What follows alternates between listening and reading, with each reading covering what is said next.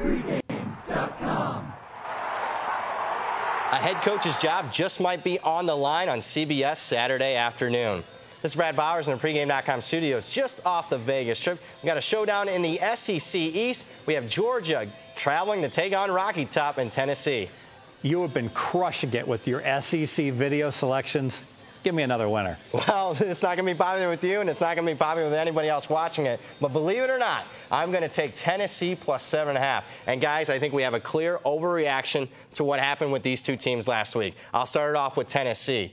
They are in a flat spot. They're off getting beat against their rival, Florida, on the final play of the game, a 60 yard Hail Mary touchdown pass. So I expected them to be flat against Massachusetts. I didn't expect them to almost lose outright as a four touchdown favorite, but I'll give them a slight pass for such a dismal performance. And that's why I think that overreaction to that game is creating some value in the marketplace. I like the Vols plus the seven and a half. Now, you know, looking at Georgia, you've had a tremendous call on Georgia. You've been on them several times. You really have called this team being a top 20, top 10 team. Yeah, I have. I like them coming into the season. I love their defensive experience. We were on them against Notre Dame. We played unders because of their defense being so good.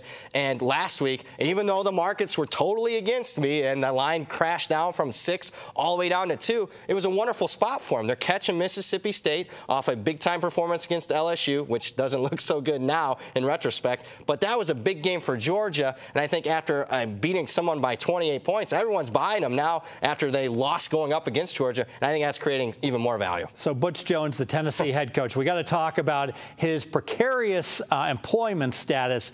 Uh, you talked about how disappointed he was at the end of the escape against UMass. Some fiery comments post game yeah, post game, and actually, e even in the media this week, he had some fiery comments. Not a good look.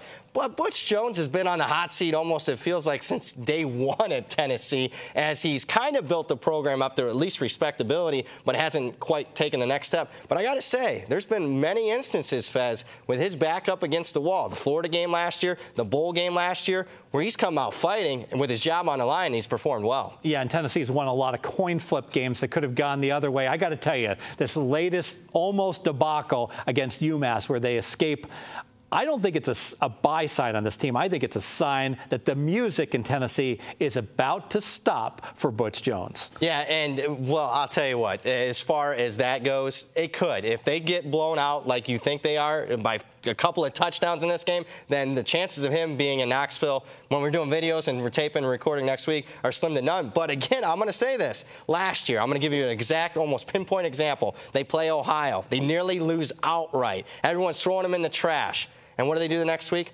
They beat Florida outright, ending a long series losing streak. So don't count them out yet. Let's talk series history, your second key handicap. Yeah, if I can't warm you up to the overreaction over last week, how about let's talk series history? Because it says this game's going to come down to the wire. Last five meetings between these two teams, all decided by seven points or less. And when you start getting the conference play, this is another handicap uh, handicapping tool that you can use because of the series history. You know, I got to tell you, I disagree on the series history. And the reason being, I would have really agreed with you in two close games that Tennessee had lost them both, but Georgia had 17 point leads not just last year, but the year before.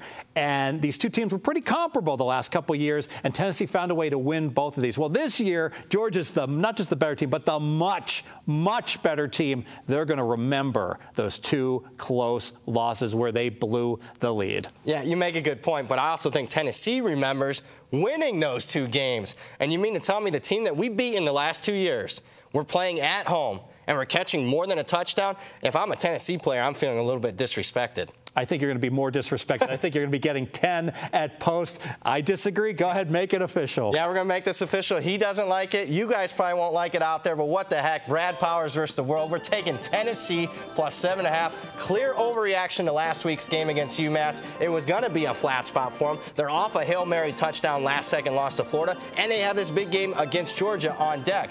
Plus, if you look at series history, it says it's going to go right down to the wire. Each of the last five meetings between these two decided by seven points or less. Add it all up, it's not popular, but I'm giving me Rocky Top plus the seven and a half. More videos at pregame.com.